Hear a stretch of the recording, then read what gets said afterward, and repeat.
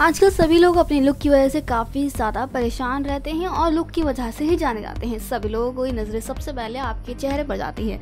इसलिए चेहरे का गोरा और खूबसूरत होना काफ़ी ज़्यादा मायने रखता है। वही खूबसूरत और गोरा चेहरा किसी की भी पर्सनैलिटी में चार चाँद लगा देता है और ख़ासकर लड़कियों की।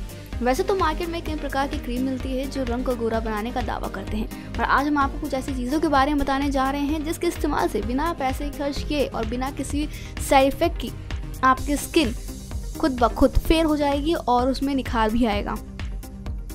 आपको बता दें कि आलू एक बहुत ही स्वादिष्ट सब्ज़ी होती है। इसके इस्तेमाल से कई प्रकार के व्यंजन बनाए जाते हैं और ये ना केवल खाने में स्वादिष्ट होती है, बल्कि आपके स्किन के लिए भी बहुत ही फ़ायदेमंद होती है। जी हाँ हैरान होने की बिल्कुल भी ज़रूरत नहीं है, ये सच है।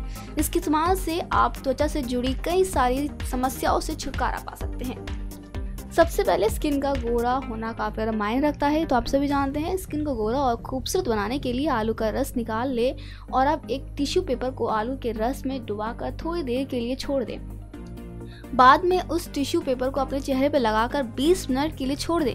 अब टिश्यू पेपर को चेहरे से हटाकर अपने चेहरे को साफ़ पानी से धोएँ और हफ़्ते में ऐसा दो तीन बार करने से ही आपकी जो स्किन है, उसमें आपको चेंजेस देखने को मिलेंगे और एक फेयर लुक आपके चेहरे पर आएगा और आप अभी खूबसूरत दिखेंगे। नेक्स्ट नाइन लाइफ से हिमांशी की रिपोर्ट।